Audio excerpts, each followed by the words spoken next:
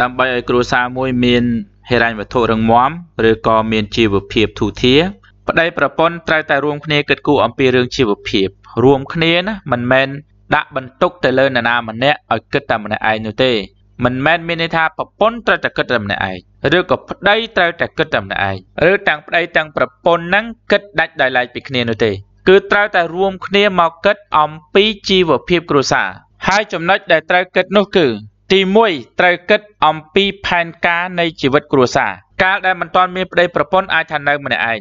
រៀងរៀងខ្លួនឬនៅជាមួយនឹងគ្រួសារចាស់របស់យើងគឺឪពុកម្ដាយរបស់យើងដល់បានគ្នាជាប្តីប្រពន្ធហើយមានន័យថាមានគ្រួសារថ្មីបើមានគ្រួសារថ្មីត្រូវរៀបចំផែនការជីវិតសម្រាប់គ្រួសារថ្មីនៅក្នុងផែនការជីវិតនេះមានរឿងសំខាន់ពីរទី1គឺរឿងបង្កើតប្រាក់ចំណូលទី2គឺរឿងបង្កើតកូនគួរតែរួមគ្នាដើម្បីបង្កើតប្រាក់ចំណូលជាមុន ទើបយកប្រាក់ចំណូលនោះមកបង្កើតកូនទៅបានស្រួលបានសុខបានសប្បាយបានរីករាយបើសិនជាបង្កើតកូនជាមុនអត់មានអ្វីសម្រាប់ទ្រទ្រង់កូនទេដូច្នេះហើយយើងត្រូវរៀបចំផែនការវិនិយោគដើម្បីបានប្រាក់ចំណូលនិងជាចំណុចអតិភិបដែលត្រូវធ្វើ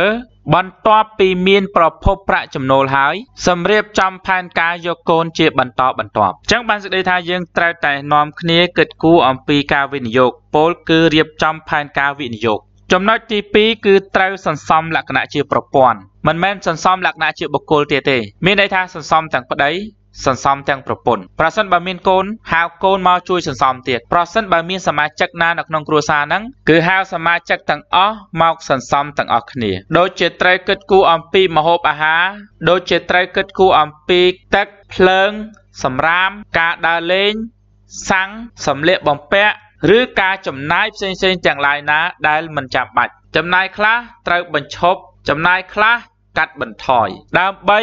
សល់ប្រាក់សន្សំកាន់តែច្រើន បន្ទាប់មកនៅពេលដែលបានប្រាក់មកដល់ដៃភ្លាមត្រូវដកសន្សំជាមុន ព្រោះយើងបានគិតគូរគ្នាអស់ហើយអំពីការចំណាយខ្ជះខ្ជាយនិងចំណាយមិនចាំបាច់គឺលុបបំបាត់និងកាត់បន្ថយខ្លះអញ្ចឹងបានប្រាក់មកគឺសន្សំភ្លាមសួរថាសន្សំយកទៅណាសន្សំដើម្បីយកទៅបំពេញចំណុចទី1គឺផែនការវិនិយោគនោះចំណុចទី3គឺត្រូវនិយាយគ្នាជាមួយប្តីប្រពន្ធអំពីរឿងទិញទ្រព្យនិងរឿងទិញបំណុលរាល់ទ្រព្យទាំងឡាយណាដែលទិញមកមិនបានចម្រើនមិនបានចំណេញវាคล้ายទៅជាបំណុលហើយអញ្ចឹងកុំទិញទ្រព្យហ្នឹង រាល់បំណុលទាំងឡាយណាដែលទិញមកមិនបានចំណេញហើយវាគិតតែចំណាយនោះគឺជាបំណុលអាក្រក់ហើយក៏កុំទិញដែរផ្ទះឡានសម្ភារៈផ្សេងផ្សេងបើសិនជាទិញហើយมันបានចំណេញកុំទិញផ្ទះឡាននិងសម្ភារៈផ្សេងផ្សេងបើសិនជាទិញហើយបានចំណេញទិញទៅដែលការចំណេញហ្នឹងត្រូវគិតអំពីស្ថិរភាពនិងសុវត្ថិភាពព្រមទាំងធៀបមកជាមួយនឹងលទ្ធភាព